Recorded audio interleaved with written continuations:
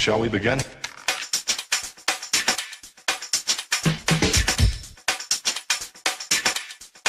Let's begin.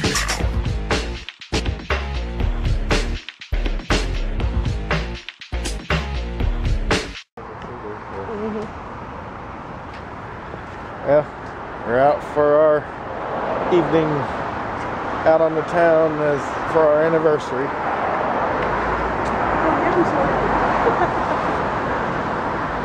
So here goes nothing. Going in here to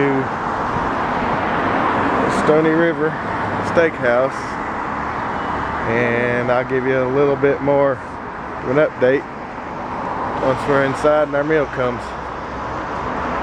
I'll give you guys a little idea of what the ambiance is like in here.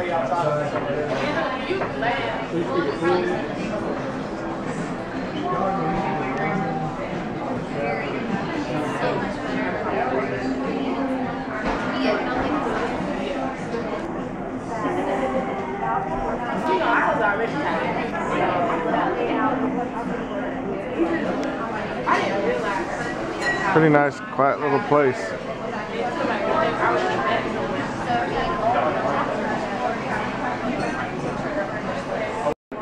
Pre-meal salads.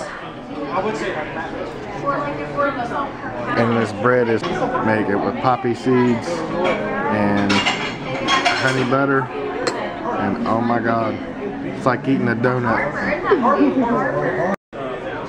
There we go. Can I do it? Look at that. 20 ounce. Medium well. Thick cut prime rib. For both of us. Yes. Num num num nums. Nice. Here we go. Done. She's just barely dug into hers. I'm done. Yay. That was good. I don't eat the fat though. Here's another one of our guilty pleasures. Mushrooms and brandy wine. Sauteed, they're so good. But to eat all that, you really, really gotta be hungry. Getting ready to show you our server, Vaughn. We're waiting on getting him.